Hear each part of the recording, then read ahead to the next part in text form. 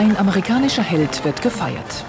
Nachdem er zum sechsten Mal die Tour de France gewonnen hat, kehrt Lance Armstrong im Triumphzug in seine Heimatstadt Austin im US-Bundesstaat Texas zurück. Zum Helden macht ihn in den Augen der Amerikaner vor allem sein Sieg gegen den Krebs. Bei dem Umzug dabei sind deshalb Kinder und jugendliche Krebsüberlebende, unter ihnen ein 14-jähriger Junge namens Ryan Carone.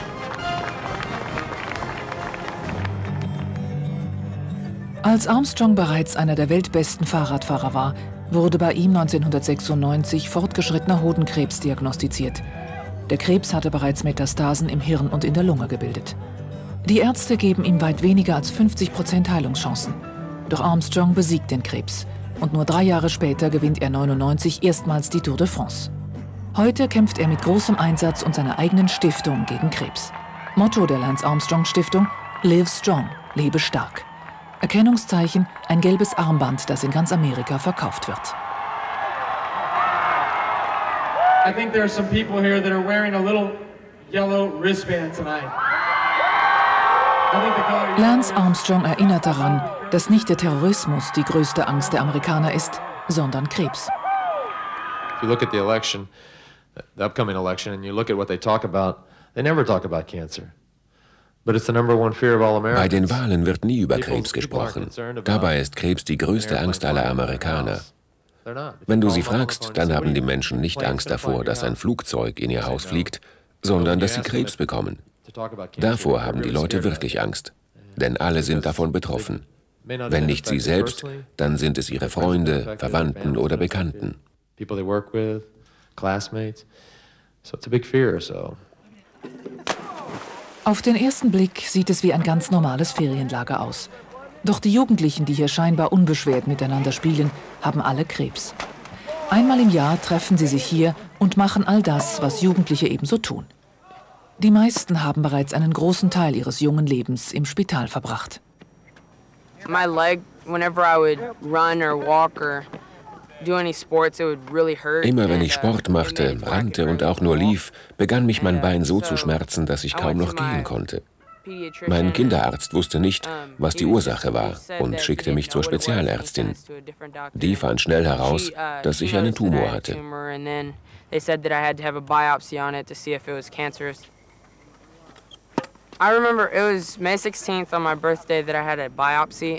An meinem Geburtstag am 16. Mai hat man mir Gewebe entnommen und herausgefunden, dass ich Krebs uh, habe.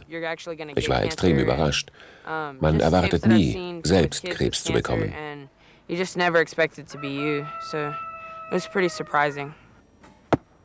Doch überraschend treffen kann es jeden. Und die Kriterien, nach denen sich der Krebs seine Opfer aussucht, sind zufällig wie es das Beispiel dieser Jugendlichen zeigt. Das Lager der krebskranken Kinder ist nur eine gute Stunde Fahrzeit von der texanischen Metropole Houston entfernt. In Texas ist bekanntlich alles etwas größer als anderswo und so erstaunt es nicht, dass sich hier im Texas Medical Center mit seinen jährlich über 5 Millionen Patienten auch Amerikas größtes Krebsspital befindet. Der Vorteil der Größe ist das umfassende Wissen. Alle hier stehen im Dienst des Kampfes gegen den Krebs, seien es Forscher, Kliniker oder das Pflegepersonal. Weil wir eine große Fakultät sind, die sich ausschließlich dem Kampf gegen den Krebs widmet, ist die Tiefe unseres Wissens schon ziemlich unglaublich. Größe heißt 1000 Ärzte, 12.000 Angestellte, 60.000 Patienten. Besonders stolz ist man darauf, als bestes Krebsspital der USA zu gelten. Krebsbehandlung besteht aus Operationen, aggressiver Chemotherapie, Bestrahlung, vielen technischen Prozeduren. Aber der Patient hat ein Leben zu führen. Er muss mit seinen Ängsten, seinen Problemen und den unerwünschten Nebenwirkungen der Behandlung fertig werden. Deshalb verbringen wir viel Zeit damit, uns mit dem Patienten und seinen Ängsten und Problemen auseinanderzusetzen. Kein Lippenbekenntnis des Spitaldirektors. Bei allen Entscheidungen stehen immer das Wohlergehen und die Lebensqualität des Patienten im Mittelpunkt. Wenn beispielsweise die Jugendlichen aus dem Ferienlager wieder zurück im Spital sind, dann steht ihnen dieser Teenie-Club zur Verfügung. Hier können sie sich treffen und einen Teil ihrer Jugend nachholen. Das Spital ist so groß, dass es nicht nur über einen eigenen Jugendclub, sondern auch über eine eigene Schule verfügt. Ich bleibe so lange, bis du etwas gegessen hast, sagt diese Mutter. Ich werde essen, sobald es mich im Mund nicht mehr so schmerzt. Allen Kliniken sind, wie hier in der Kinderklinik, solche zentral gelegenen Einheiten für das Personal gemeinsam. Hier laufen alle Fäden zusammen und trotzdem sind die Wege nie weit. The initial detection der erste Nachweis und die erste Klassifizierung des Tumors sind abhängig von guten bildgebenden Verfahren. Diesen entnehmen wir, wo und wie groß der Tumor ist. Basierend darauf kann man entscheiden, ob er am besten mit Bestrahlung, einer Operation, einer Chemotherapie oder mit einer Kombination dieser Methoden zu behandeln ist. Hier haben Sie einen Patienten mit Lungenkrebs. Die Frage ist, was ist diese große Gewebemasse zwischen diesem Knochen und der Lunge? Das hier ist der PET-Scan. Und hier unten in dem farbigen Bild sehen wir die Computertomographie und den PET-Scan zusammen. Hier im PET-Bild sehen Sie einen großen schwarzen Fleck aber es ist schwer zu sagen, wo genau sich dieser befindet. Dem zusammengeführten Bild hier unten können wir aber entnehmen, dass sich hier ein aktiver Tumor befindet. Wir können das Bild aber auch dreidimensional rotieren lassen. So gewinnen wir ziemlich rasch einen Überblick über den ganzen Körper.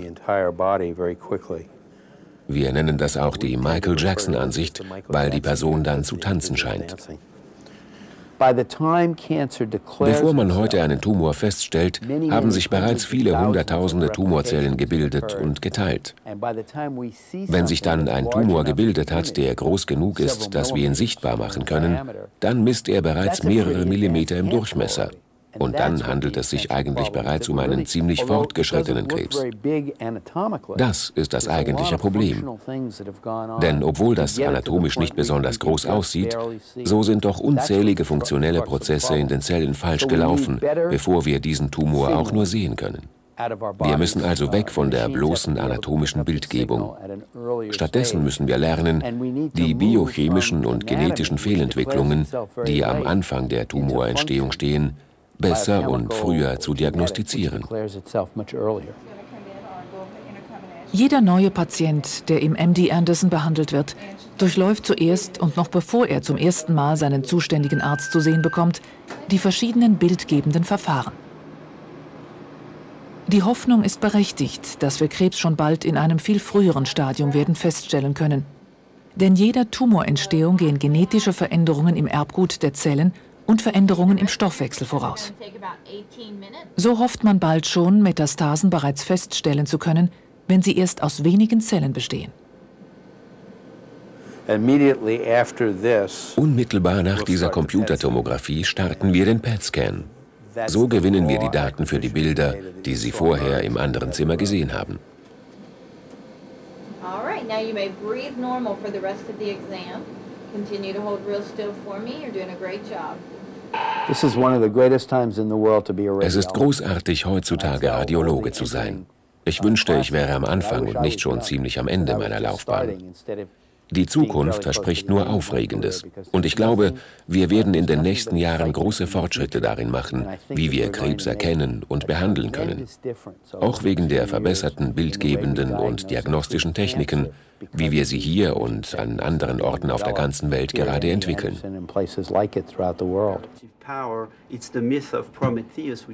Der gebürtige Schweizer Nicolas Vauté ist Chef der Leberchirurgie im MD Anderson. Er hat sich darauf spezialisiert, besonders stark vom Krebs befallene Lebern zu retten.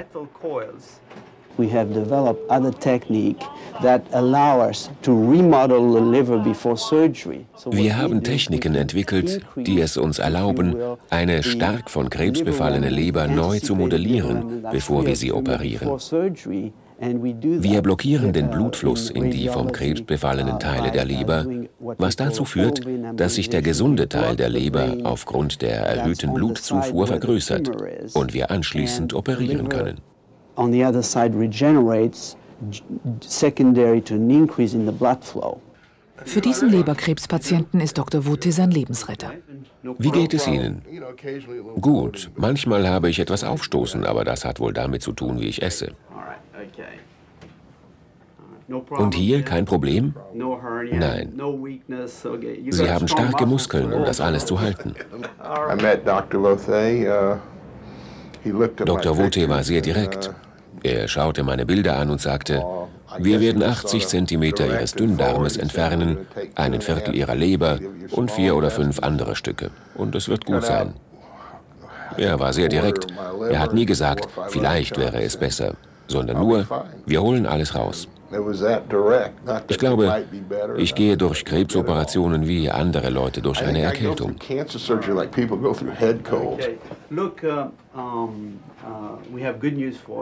Wir haben gute Nachrichten. Wir haben noch einmal kontrolliert. Aber da ist kein Tumor mehr.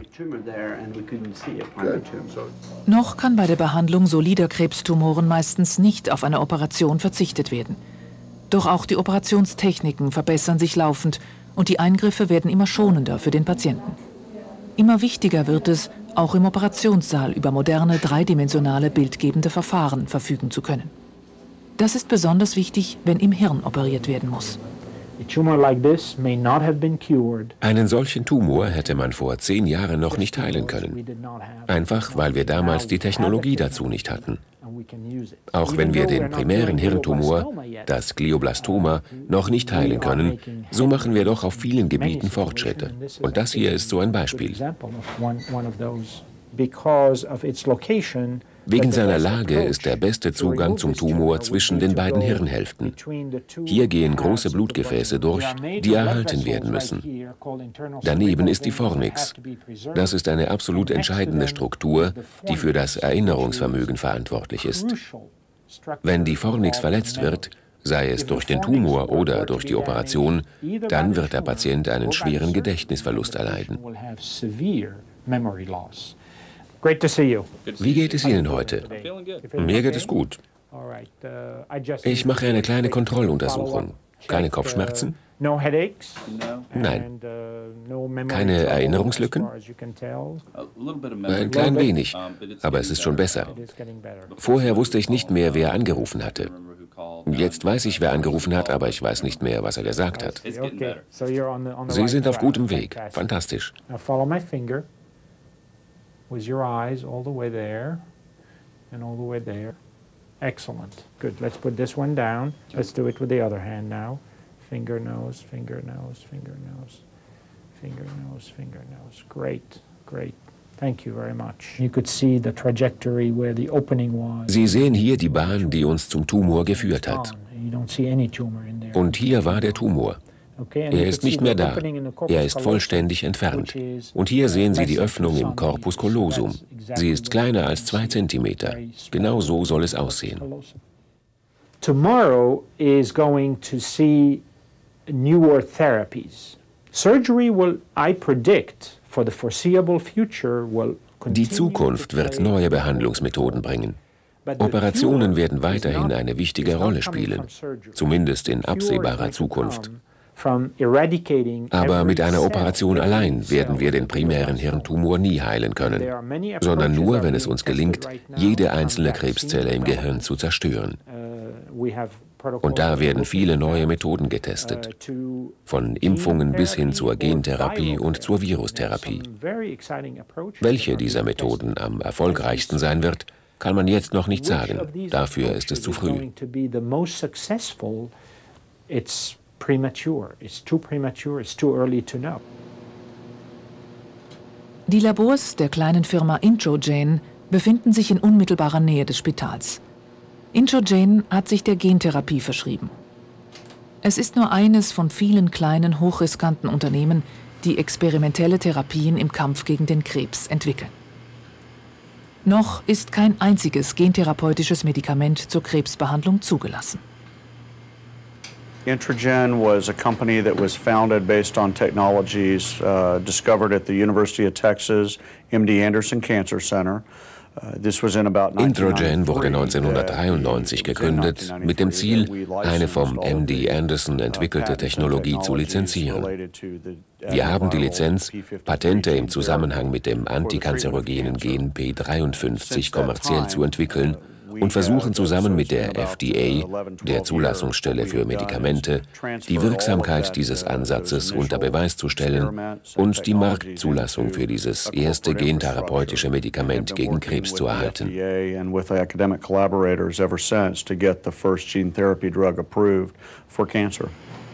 Bei vielen Krebserkrankungen lässt sich feststellen, dass ein Gen namens P53, das der körpereigenen Tumorbekämpfung dient, mutiert ist.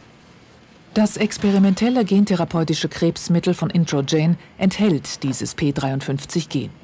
Es wird direkt in den Tumor gespritzt und soll den mutierten Krebszellen dieses natürlich vorkommende Antitumorgen wieder zuführen. Das Ziel? Eine Verbesserung der körpereigenen Immunabwehr. Der italienische Arzt und Wissenschaftler Massimo Cristofanilli ist einer der führenden Brustkrebsspezialisten. Als behandelnder Arzt leitet er am MD Anderson verschiedene Studien für experimentelle Therapien gegen Brustkrebs. Eine dieser Studien untersuchte die Wirksamkeit des Medikamentes von Introgen. This was the first trial in women with primary breast cancer. 80% of these women had a mutation of the p53 gene. Dies war die erste derartige klinische Studie für Frauen mit primärem Brustkrebs. 80 Prozent dieser Frauen hatten eine Mutation des P53-Gens. Die vom P53-Gen gesteuerten Proteine konnten deshalb ihre wichtige Funktion im Zellzyklus nicht mehr erfüllen. Wir hoffen, dies mit der Injektion des Mittels in den Tumor korrigieren und so einen antikanzerogenen Effekt erzielen zu können. Am MD Anderson Krebszentrum behandeln 12.000 Angestellte jedes Jahr über 60.000 Krebspatienten. Nirgends auf der Welt werden mehr klinische Studien mit Krebspatienten durchgeführt. MD Anderson is by far the largest cancer center in the United States, uh, both in terms of patient numbers and. MD Anderson ist mit Abstand das größte Krebsbehandlungszentrum in den Vereinigten Staaten und führt auch die meisten klinischen Studien durch.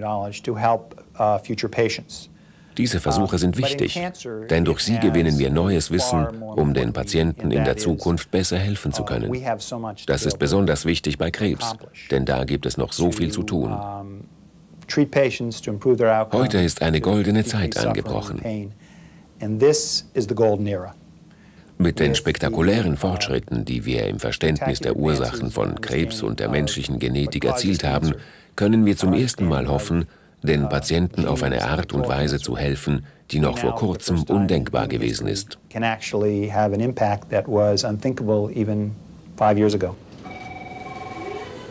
Die zentrale Apotheke des Spitals ist 365 Tage im Jahr rund um die Uhr geöffnet. Da immer neue Substanzen zugelassen werden, nimmt die Anzahl der hier gelagerten Medikamente ständig zu. Ihre Bewirtschaftung ist zentral für das Funktionieren des Spitals. Ein Roboter sorgt dafür, dass das Inventar der am häufigsten gebrauchten Pharmazeutika ununterbrochen aktualisiert wird. Die Entwicklung der Forschung wird dafür sorgen, dass die Anzahl der Krebsmedikamente weiter zunehmen wird. I would argue that over the next 10 years we will see more improvement ich schätze, dass wir in den nächsten zehn Jahren dank neuer, wirksamerer und weniger toxischer Medikamente eine größere Verbesserung der Behandlungsresultate bei Krebspatienten erzielen werden, als wir das in der ganzen Medizingeschichte bisher geschafft haben. Wie ich schon sagte, ist jetzt eine goldene Zeit angebrochen. Wir lernen so viel, was die der Krebserkrankung zugrunde liegenden biologischen Prozesse betrifft. Und wir lernen, wie wir diese Fehlentwicklungen behandeln können. Unzählige Universitäten und Forschungseinrichtungen arbeiten an dem Problem. Und ich habe kaum Zweifel, dass die erzielten Fortschritte spektakulär sein werden. Wie dieser Mann hier befindet sich etwa jeder fünfte Patient am MD Anderson in einer klinischen Studie, für viele Patienten bedeutet die Teilnahme an einer solchen die letzte Hoffnung.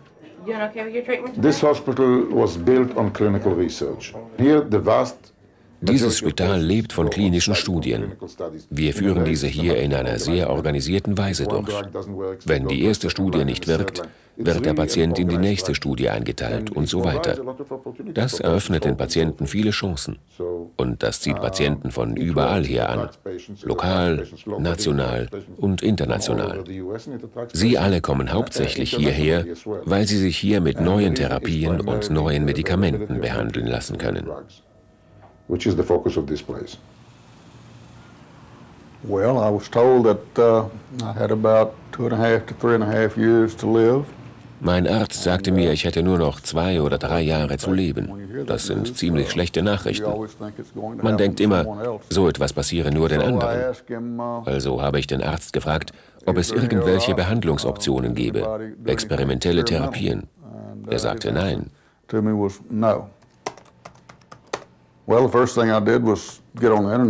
Das Erste, was ich dann gemacht habe, war, im Internet nach neuen Forschungsergebnissen zu suchen. Es dauerte nicht lange und ich fand heraus, dass sich eine neue Substanz der Firma Novartis namens STI 571 in der klinischen Erprobung am MD Anderson Spital befindet und sehr vielversprechende Resultate erzielt. Also habe ich alles daran gesetzt, um an diesem klinischen Versuch teilnehmen zu können. Ich verdanke also dem Internet mein Leben. An experimental drug at the time. And uh, I made up my mind that since it was looking so good that I was going to try to get into trial. Uh, I credit the internet with saving my life, actually. Die Pharmaforschung stellt ununterbrochen neue, im Laborversuch erfolgreiche Substanzen her, die wie hier in kleinen Mengen zubereitet werden, um in klinischen Studien auf ihre Wirksamkeit hin getestet zu werden. STI 571 ist mittlerweile unter dem Namen Glivec zur Behandlung von zwei relativ seltenen Krebserkrankungen zugelassen. Glivec bedeutete einen Meilenstein in der Krebsforschung. Es ist die erste Substanz einer völlig neuartigen Wirkstoffklasse. Die neuen Medikamente sind sehr spezifisch. Jeder Krebs benötigt ein anderes. Es ist eher wie eine Boutique als wie ein Supermarkt. Nicht jeder Krebs spricht auf dasselbe Medikament an. Einmal die Woche besucht Jerry Mayfield seinen Arzt, einen der führenden Spezialisten für die Behandlung von Blutkrebs. Zu Beginn seiner Laufbahn konnte Dr. Talpas nur wenigen seiner Patienten nachhaltig helfen. In den letzten Jahren hat sich das geändert. Zum Beispiel bei manchen Formen von Leukämie, wie zum Beispiel bei derjenigen, unter der Jerry Mayfield leidet. Very good. We don't find a thing. Here is a, a beautiful story. Das ist eine schöne Geschichte. Die Geschichte der Behandlung der chronischen myeloischen Leukämie in den letzten 30, 40 Jahren. Anfangs gab es keine Behandlungsmethode, dann wurden die Behandlungsoptionen immer besser. Und wir konnten die durchschnittliche Überlebensrate von drei auf fünf auf sieben Jahre erhöhen. Und jetzt haben wir die neuen zielgerichteten Medikamente. Und die scheinen die Krankheit vollständig zu verändern. Das gilt nicht unbedingt für alle Formen von Blutkrebs, aber es scheint, als wäre das der Anfang einer ganzen Serie neuer Medikamente, die spezifische Defekte in Krebszellen hochwirksam behandeln highly effective against the cancer cells. Jerry Mayfield ist der erste Patient, der in seinem Internet-Tagebuch fortlaufend über seine Erfahrungen mit einer klinischen Studie berichtet, bevor diese ausgewertet ist. Ich bin auch Mitglied von Patientendiskussionsforen im Internet. Wir wissen alles, was sich in der Welt der chronischen Leukämie erneut abspielt, immer sofort. Neue klinische Versuche in Großbritannien oder in Deutschland, wir erfahren ohne Zeitverzögerung davon. Weil wir uns direkt als betroffene Patienten austauschen, wissen wir vieles zum Teil schneller als die Ärzte, denn diese erfahren Neues meist erst, wenn es in einer medizinischen Fachzeitschrift publiziert wurde. Bei Debbie Bloom, Mutter von zwei Töchtern, wurde 1997 ein Eierstockkrebs im fortgeschrittenen Stadium diagnostiziert. Ich lasse nichts unversucht. Auch wenn es an manchen Tagen schwierig ist, so weiß ich doch, dass ich das alles hier tue, um ein Leben zu retten. Bei der Stammzellentransplantation werden dem Patienten oder einem geeigneten Spender, im Falle von Debbie Blum ist es ihre Schwester, Stammzellen aus dem Blut abgenommen. Das Verfahren ist mit einer Dialyse vergleichbar und wird heute routinemäßig bei gewissen Formen von Blutkrebs angewendet. Am MD Anderson untersucht man, ob es sich auch zur Behandlung von Eierstockkrebs eignet.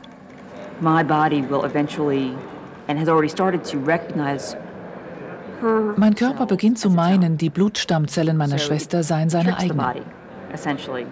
Im Augenblick ist meine Blutgruppe gerade dabei zu wechseln. Und in einigen Tagen oder Wochen werde ich die Blutgruppe meiner Schwester haben. Mittels einer Rückenmarkpunktion kann man feststellen, wie sich dieser Prozess entwickelt.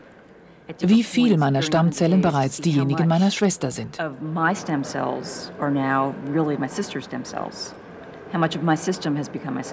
Nach 100 Tagen wird mein Immunsystem dasjenige meiner Schwester sein.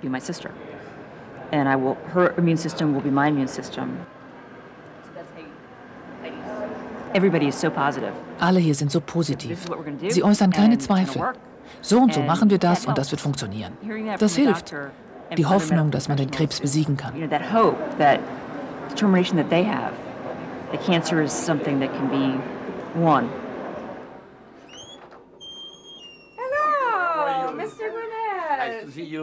Deborah Cuban ist eine führende Kapazität in der Behandlung von Prostatakrebs.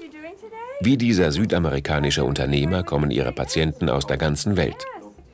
Prostatakrebs ist bei Männern die häufigste Krebserkrankung überhaupt. Deshalb, aber auch weil eine Operation meist zu Impotenz und Inkontinenz führt, gibt es eine große Bandbreite verschiedener Behandlungsoptionen. Es gibt ganz verschiedene Arten von Prostatakrebs und wir müssen deshalb in jedem Fall die Tumorprobe ganz genau untersuchen. Einige Arten wachsen sehr langsam, andere hingegen sehr schnell. Dann hängt es auch vom Alter des Mannes ab. Das ist der Trick, herauszufinden, was für eine Art Prostatakrebs ein Mann hat, uh, um ihn dann entsprechend angemessen behandeln zu können. Manche Formen von Prostatakrebs werden einem Patienten während seines Lebens nie gefährlich werden können, während wieder andere dringend behandelt werden müssen.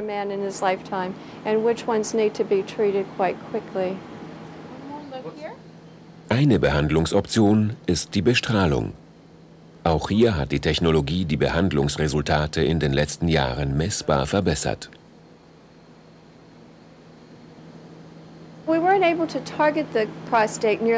Früher konnten wir den Krebs nicht annähernd so gezielt bestrahlen wie heute.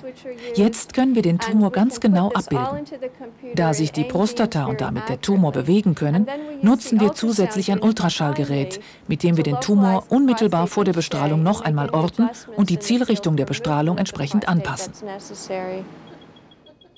Gegenwärtig wird für die Bestrahlung von Prostata und anderen Krebsarten am MD Anderson eine neue Protonenbestrahlungsanlage gebaut. Die in der Schweiz maßgeblich mitentwickelte Technologie der Protonenbestrahlung ist besonders gewebeschonend. Zurück im alljährlich stattfindenden Sommercamp für die krebskranken Jugendlichen des MD Anderson Spitals. Auch Ryan Carone, der beinamputierte Junge, der sich Lance Armstrong zum Vorbild erkoren hat, ist wieder da. Das Leben ist jetzt und heute Abend soll gefeiert werden. Und dafür gilt es, sich schön zu machen. Einen erstaunlich vernünftigen Eindruck hinterlassen sie, diese Teenager. I wasn't allowed to be a child. Mir war es gar nicht erlaubt, Kind zu sein. Mir blieb nichts anderes übrig, als schneller reif zu werden. Ich glaube, ich habe die Adoleszenzphase zwischen Kindheit und Erwachsensein einfach irgendwie übersprungen.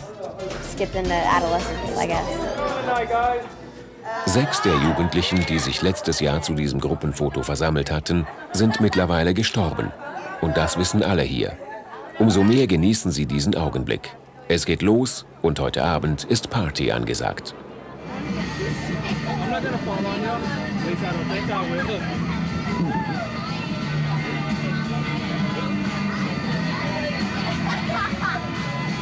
Dann legt das Schiff ab und es gibt ein festliches Abendessen. Das ist manchmal ein bisschen langweilig, manchmal ein bisschen lustig und es geht vorbei. Langsam.